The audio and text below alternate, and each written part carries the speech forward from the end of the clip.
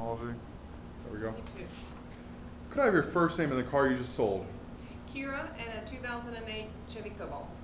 Do I have permission to record this testimonial? You do. What did you think about WeBuyAnyCar.com before coming into our branch? I, I really wasn't sure. I was skeptical, to be honest. What was your experience like in the branch? Surprisingly wonderful. What did you like most about your experience? I like most um, Weldon, the branch manager, and how you truly interested in giving me an honest deal. Would you recommend our company to your friends and family? Absolutely.